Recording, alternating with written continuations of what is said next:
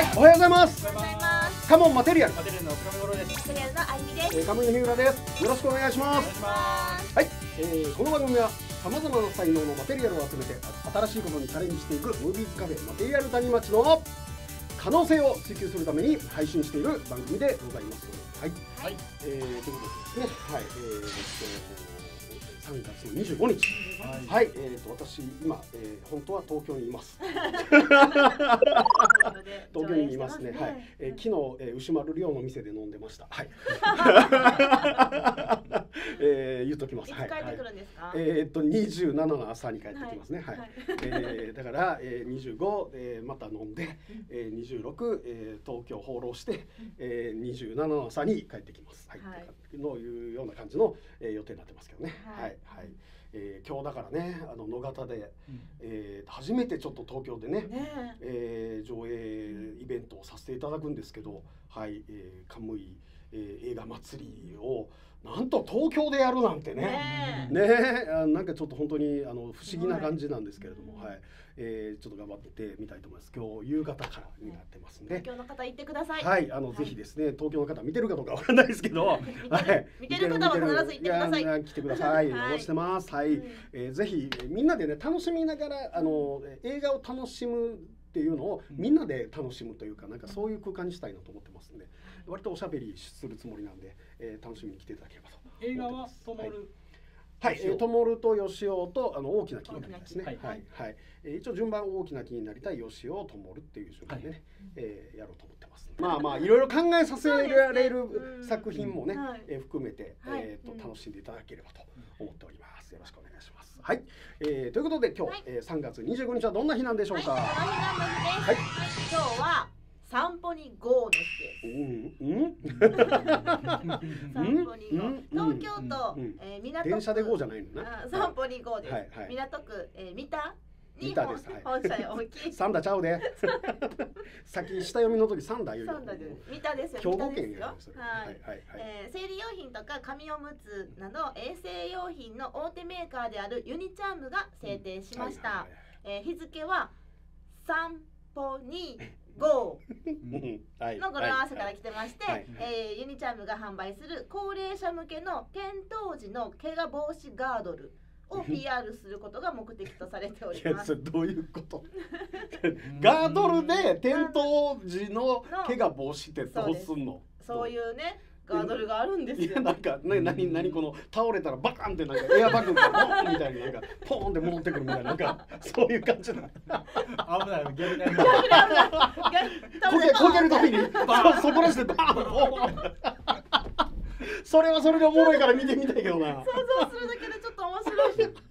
えそういう映画作れますか？いや面白い面白い、はい、はいえーこれ、えー、そうそうじゃなくて、うんガードルにうん横、横ね、うん。横横に、うんえっ、とその転倒してもぶつかぶつかってもいいようにクッション材が入入っている。なるほど横に？横に？なるほどね。横横です。腰物ねとかね、うん。よく売ってね怪我して歩けなくなったりしますからね、でこれによって高齢者に転倒を恐れず、うん。春の外出をや行楽を楽しんでもらいたいと思いが込められております。はい。ライフリーってね。あーああるあるその CM、はい。でもなんかそういうのはちょっと伝わってなかったななんかはい。でもライフリー転ばぬ先の安心ガードルといいう商品なんかそういうあのキャッチフレーズ覚えてるわ、確かにおむつとかではない。おむつではないです。ガードルで。うん転倒しても安心ですよ。クッションがあるんで安心ですよっていう商品。ビヨンみたいな。それはない。跳ね返ってはくれないいやと思います。楽しそうやなそれはそれでそう面白そう。うんでもその後あれやろなあのズボンとか破れてんねやろな すごいことなってボるロボロな。エアバッグ。はい、そしてもう一つ、ドラマチックデーです。何ですか？おもろいな今日今日面白いおもろいな面白い。1956年昭和31年の3月25日はい。後、楽園球場で行われたプロ野球、うん。えー巨人中日戦で、はい。巨人の日笠和夫選手が史上初のうん。代打逆転サヨナラ満塁ホームランを打った日です。え ーすごいね。はい。昭和三十一年。昭和31年です。はい。はいはいはいはいはい、でこの日ね中日とね、はい。えー行っえー試合を行ってたんですが、うん。はい。ええー迎えた9回、うん。えー無死。うん。無死？無死？無死。あうん。無死です。無死。はい。無死ノーアウトや。ノーアウト。ノーアウト。ノーアウトね。一二塁で、はい。えーはい。あってで相手のチームがうん。エラーなんかはい。はい。ダブルプレーと思われたボールが、はい。はい。はい。えーファンブルっていうちょっとねまあこあの落とすボール落としちゃったんですねとなって満塁になったんですよ。ははいい、はいはい。はい。でそあこに一二塁やったから満塁になりました。でそこに代打日傘はい。を送りました。はい。でその相手投手は、えー杉下選手はい。投手だったんですね。杉下は必ず直球で勝負すると呼んでいた、うんうん。えー日傘は、えー第3球目の内角高めのストレートを、うん。えー左中間スタンドへ左中間スタンドへはい。入りました。はい。でこれが日本初。初の。代打。代打。逆転サヨナラ満塁。ホームラン。ですすごねいね。はい、ホームイン後は日傘はナインからうん。胴上げされていやー、まあスコアはそうですよね。4対3。うん。ね。そう逆転してるもんね。うん。今でもこのなんかね記録に残っているう、うん。はい試合となってでだから満塁やしでで9回裏これ裏表。裏でしょ。裏裏裏裏ね裏でない裏です。かもね。9回裏。だから9回裏やから、もうこの満塁でで逆転してもうたらもう返しようがないもんねね。これはね。ですね。ほんまにドラマティック。ねえ。うん。すごい。はい。もうドラマティックベースボールって感じのね。まあまああのちょうどねあの WBC も、はい。はい、えーうん。きっと盛り上がってるでしょう。今まあまあ今僕らが収録してる時点では始まってないですからね。はい、はい。あの強化試合見たんですよ。はいはいはい。大谷君の、うんそのパワーのレベルのいやいやいや高さがねもうねびっくりしたやばいですねほんまにもうなんで飛ぶの、なんでえーホームラン入るのっていう そんなドラマティックなはい日だと日です。いうことですねは、はいい以上です。はい、ありがとうございました。はい、それでは、えー今日もですね、はいえーこのこのプレゼンありかなしかはいなんですけども、来ましたよついに。来ましたか。来ましたよ。来ましたよ皆さん。はい。来ました。えー私大好物のアクション映画でございます。はい。ベイビーワルキューレ。ツーベイビーです。はい、来ました。ねえ、あの一回目はですね、私、うん。あの高石あかりちゃんね。はい。えー主演のお二人のうちの一人のね高橋あかりちゃんにインタビューさせていただきうん「あのアクション大変やったやろ」言うたら「そうなんですなんでよかったんですか?」っていうのが もう超盛り上がってですね その後もですね、えー何かことあるごとに私は割とあの高橋あかりちゃんの紹介をすることが増えてきたんですけれども、ははい。い今回はですね残念ながらですね坂本優吾監督へのインタビューということで。うん。残念やったんですねいやいやいや、そんなことないよ。そんなことないですよ、坂本監督。えそそそんなことないです。あの、いやいや、あの、坂本監督もね、あの、いろいろと、あ、そういう意図で、こう、これをこうやったのね、みたいなところがね。うんあの、お聞きできたので。はい、えーぜひ皆さんですね、えーこれ見る前に見た方がいいインタビューですね、これ、どっちかというとね。はい、えーになりますので、えー今から、えーぜひこのインタビュー、えーご覧いただきたいと思います。それでは、えーこのプレゼンありかなしかスタート。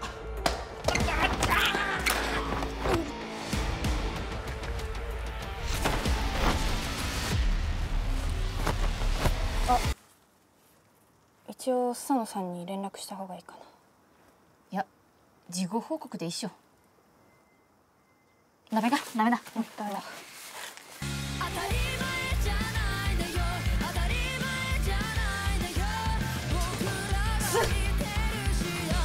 謹慎中でしたよね。ギャーギャー謹慎中の仕事は規則的には。二度と使わないと思ったのに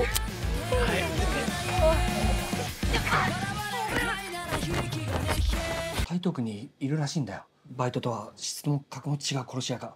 殺してしまえば開くわけじゃんその席が。せめてあの二人ぶっ倒そうよ。うち内部を傷つけたこと墓場で後悔させてやる。私にかけろ。杉本千里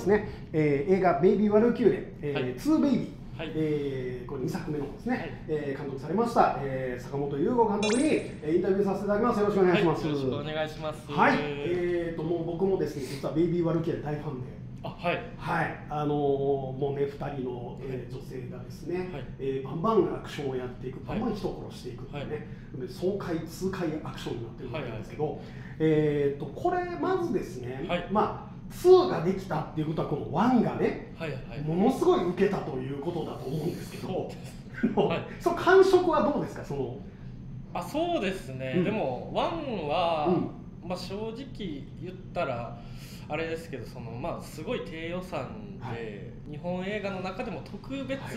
あの、はい。ほんま映画撮る最低ラインっていうか商業で。はい、ラインの作品で、うん。まあほんまにぶっちゃけ6日半ぐらいで撮ったはい、はい、はい、はい、はい、そうそうそう、なんで聞きました、そうなんですよ。アクションもはい。2日で撮ったり、はい。っていうぐらいの、まあ、小規模な作品が、はい。まあ、それがまあまあ逆にそれがなんかこうちっちゃい話で収まるし、まあ、そこでまあキャラクターがちゃんと2人だけをうん。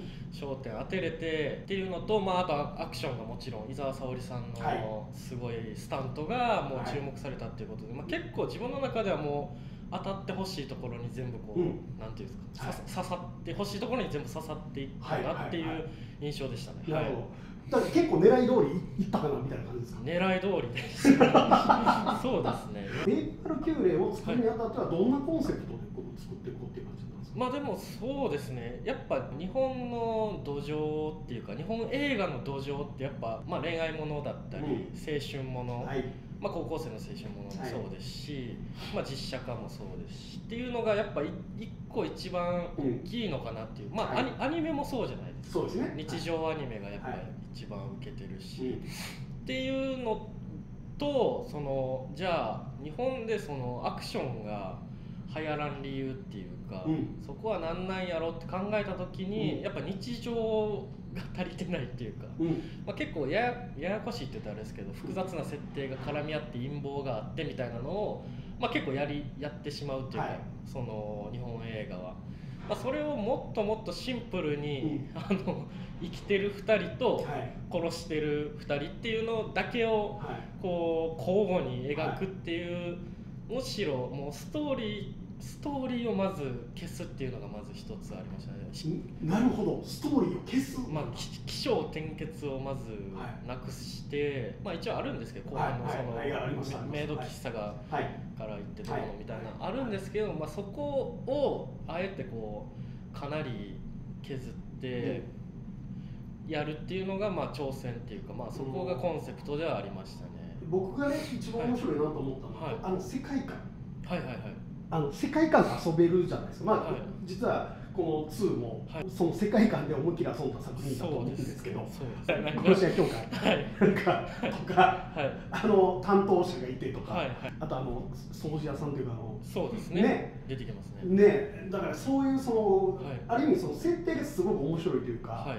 あの割となんかアリスアリスいやないねんけど、はい。ないねんけど、はいはいはい。はいそういう仕組みの中でこの2人は生活してるんだっていうのを、はい。すごいこうリアリティを持たせてる存在だと思うんですよね。はいだって殺し屋が人を殺したら、はい。その後そのままにしてたらバレるわけやから、まあそうですね。バレないようにするためにどうすんのみたいな話のところをちゃんとその設定が引き受けてくれてるから、ああそうですね。ある意味そのあの設定ってこう思いついたのすごいなと思ったんですけど、そうですね、はいでもまあなんか確か「ベイビー・アルキューレ1」の企画書のもううん1行目とかに死体処理の手続きとか、はい。そのまあ殺し屋じゃなくても家賃のはいはいなんかどうのみたいなとかなんかありますあります原原本を持ってこいみたいな、あの住民票のみたいな。そそこで戸惑う殺し屋ってどうですかみたいなのを一発目の企画書に書いたんですよ、なるほそこが一番こうプロデューサーを落とすところっていうか、ど、はいはいはい。こういう映画おもろないですかのは一発目はそこだったんですよそのなるほどね、あんまその女子2人のルームシェアとかよりも先が、うん先がそこだったんで、なるほほど。もうそこがスタートでしたね。おもろいですよねそれはね。そうそうなんですよね。普通のことやってるだけでおもろなるんで、はいはいはい。ふ普通のことやっていいんですよ。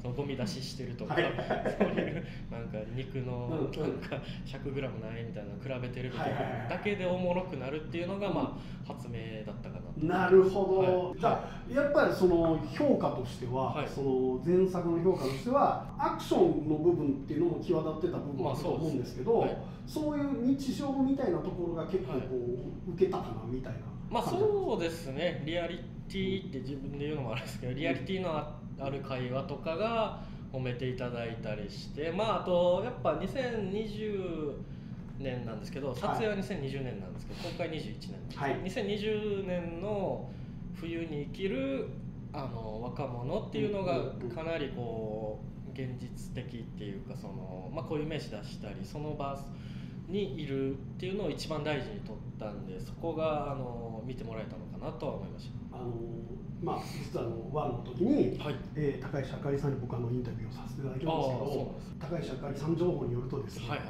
えー現場で結構追加のあのセリフが増えていったとかなんか。そうですね。しかもあれ長撮りじゃないですか。長回しで、はい。あのワンカメでズドンで2人がはいなんかイチャイチャしてるみたいなのをずっとはいはい。撮ってんねんけど、はい。えーそのセリフ量だけでもパンパンやのに、はい。あのすいませんこれ入れてもらっていいですかとかっていうのが現場でガンガン増えていったとかっていう噂を聞いたんですけど、申し訳なかったです。まあちょっと2でもちょっとややりすぎてあ。まあやりすぎてはないですけど、うん。1よりは減った気はしてる、うん。まあ、本人聞かないと分かんないですけど ちょっと反省しましたね。台本って言っても妄想なんで自分の、うん。うん妄想とやっぱ喋られるとやっぱ全然違うっていうあーなるほど。あるんでまあそれはね演出やと思ってほしいんですけど。2の見どころってどういう感じなんでしょうね。そうですね。1より緩く1より熱くっていうのを まあ、テーマにはして。なるほどなるほどまあ、1はしこたま人が死んでく話なんですけど、はいはいね。要所要所で。はい。でまあちょっとその要素を削いで。はい。で嫌なやついっぱい出てきたじゃないですか、ワン。うん。あのコンビニの面接、はいはいああいうのああいう嫌なやつを倒していくみたいな話を、はい。まず一回完全にお。捨てて、うんその悪人を出さないうん。アクション映画って、うんこの世に存在できるんかなみたいなのが一つのテーマでやってあなるほど。そこがテーマなんだ。結構1個目のテーマがそこでした。ね、だから敵も悪人って感じじゃなくて、うんライバルみたいな感じにしようっていうのが1個一番思ったところです、はいはい。あんま見たことないタイプのアクション映画なんじゃないかな。もう多分見たことないと思いますね。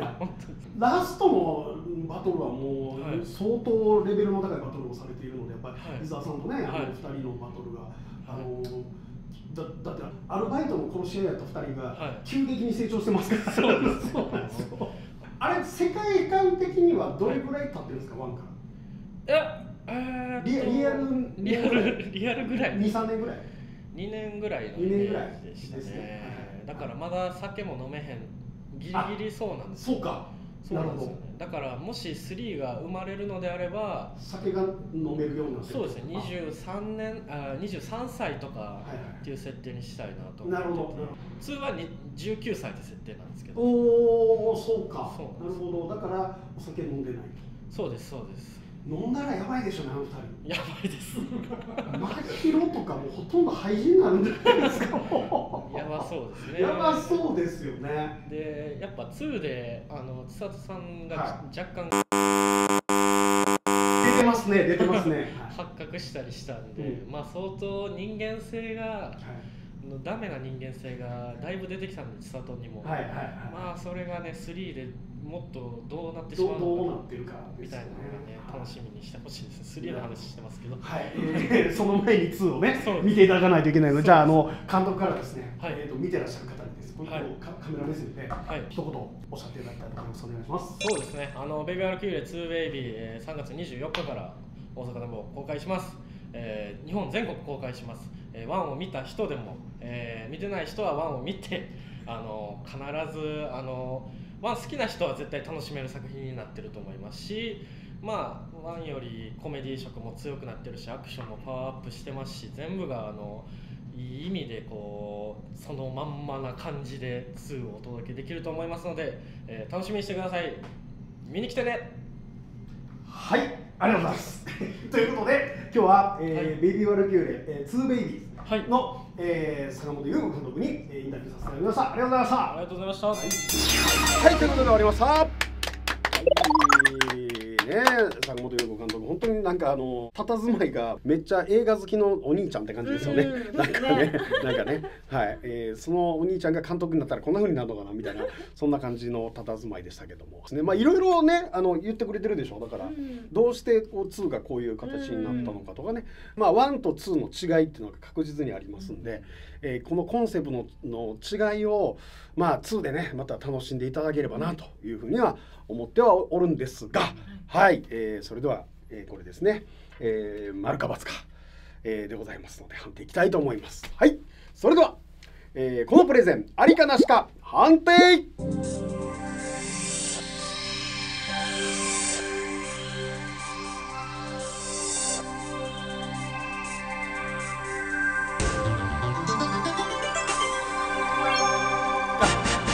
おいおいおい今今うわおおドキドキしたドキドキした俺今いやいやいやいやはいはいはいはいいやいやいやいやいやいやいやこう上げてから一瞬下がったからおいはいはいはいいやいやいやまあまあまあそうですねあのーなんでしょうねあの世界観をどう楽しむかっていうのがねやっぱり映画の楽しみの一つというか楽しみ方の一つだと思うんですけど「えーベイビー・ワルキューレ」ってどっちかとねあのインタビューの中でも僕ちょっと喋ってましたけどもやっぱりあの独特の世界観、ううんん。あの殺し屋協会？っていうのがあってみたいな。でその協会に所属している、えー殺し屋さんっていうもうちゃんとした職業になってるっていうね。はい、でそのセセクションの中でその、えー片付け人というか掃除人みたいな担当の人がいてみたいな、そういうなんかなんかねプロとしてのなんか仕組みがちゃんと出来上がってるみたいな、あの世界観の中であの2人がどう暴れるのかっていうところが、まあ、この作品のねえー肝になってるんじゃないかなと思いますんでで今回は特にあの、えー殺し屋協会側の人たちもね、ものすごいたくさんあの出番があって。あのいろいろと、えー楽しませてくれたりとかしてますから、まあ、その辺も含めてね、えー楽しみにしていただければと思います。えーまあもうすでに昨日からね公開してます、えーナンバーパークスシネマとムームービックスとかもね、えーありますんで、えーぜひ皆さん、えー一度ご覧になっていただきたいと思います。はい、それでは、えーベイビーワルキューレ2ベイビーズの、えー坂本優子監督のインタビューでございました。ありがとうございました。はい。はい、では、あゆみ。はい本日ですね、うんえー監督は東京にいらっしゃいますが、はい。こちらではラクザのライブです。はい、ラクザのライブやっております。はいもうはいペダルジャミンセン聞いてくださいね。音楽週間のね、はい中日となっております。はいラクザのライブ、えーはい19時30分スタートになっております。はい18時半から入れますので、はいぜひぜひ皆さんお越しください。えー料金は2500円でワンドリンク付きとなっております。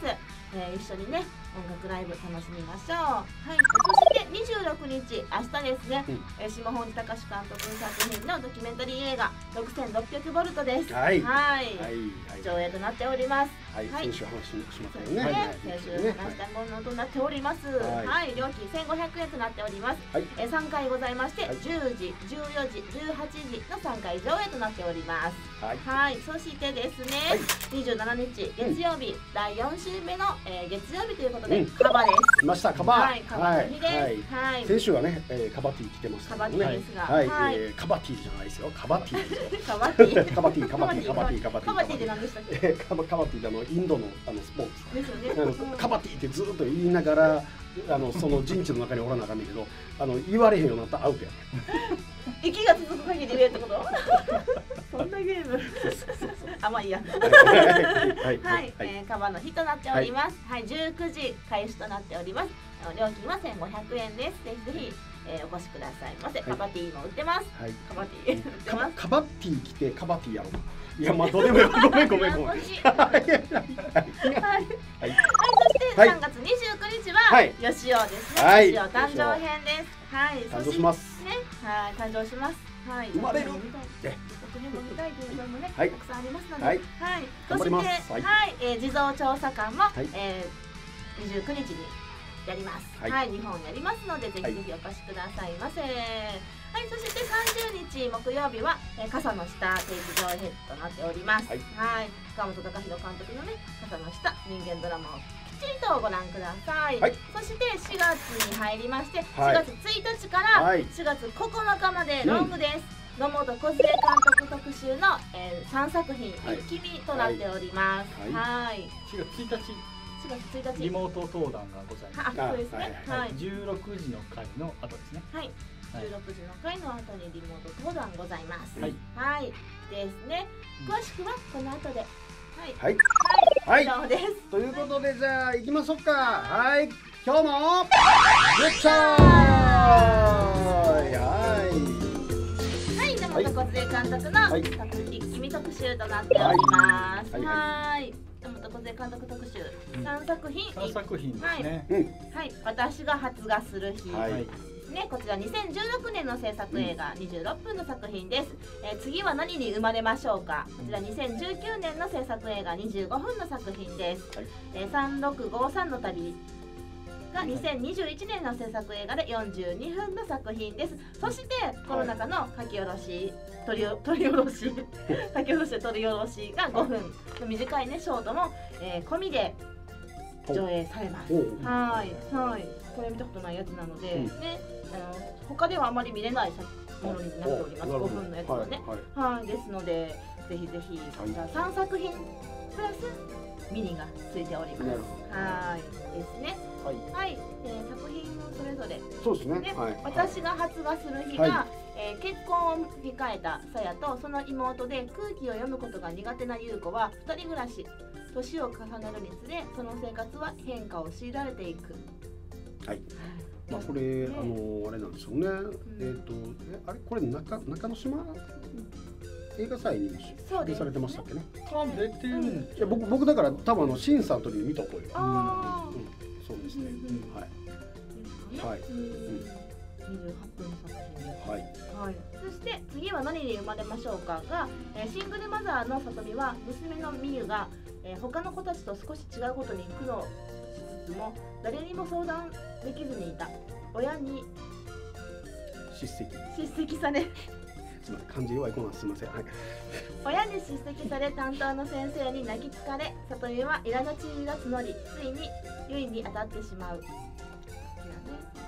障害ですよね。うん。まあ子供なんでね。まあ宮と母親の宮の病はい、ゆうこさんはい。気連戦されてますよね。すごい、そして3653の旅ですね、えー東日本大震災から10年故郷石の石巻を離れ埼玉のリフォーム会社に勤めている例の気がかりは部屋にこもりがちな幼なじみ渚かな、えー、例は渚を埼玉へ連れ出すために同僚の雄太と石巻を訪れる。雄太がし指令指令通り渚との仲を深める中で令は今も少しのえ今え令は今も 行方のわからない母と過ごした日々を思い出していく。うんというストーリーとなっております。はい震災がね、震災から10年間時の話ですね。はい。ですはい。この3作品がなんとなんと一気に見れます。はい。はい、はい。1セットです。はい。はい、となっておりますので、えー4月1日から9日までですが、4日の日は、えー定休日となっておりますので、お休みとさせていただきますが、ははい。い、ねすごい23回流れます。すごいですね。はい。はい。でね野本監督といえばうん。ですよね。あのえっと以前はい。はい。愛のくだらないでね、あのこの番組でも紹介させていただいて、僕があの、えーとインタビューをね、はい。えーさせていただいたんですけども、でそのご縁でですね、あの大阪の舞台挨拶に来られた時に、えーついでにって言いながら、えー マテリアルに無理やり連れてきまして、はい。はい。えーその後飲みに行ったりとかいろいろしたんですけどね、うん。はい。